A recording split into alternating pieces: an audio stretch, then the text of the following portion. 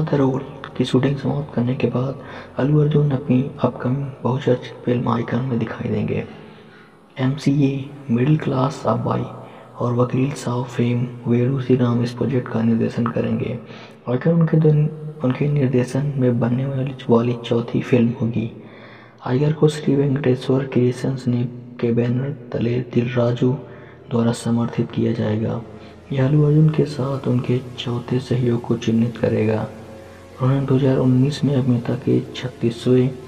जन्मदिन पर फिल्म की अनाउंसमेंट की थी